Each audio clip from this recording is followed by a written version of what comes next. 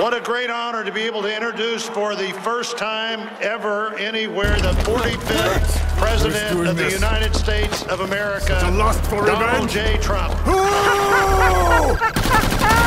This is hilarious. this rules. What's Honor to be able to introduce for the first time ever anywhere the 45th President of the. United States of America, Donald J. Trump.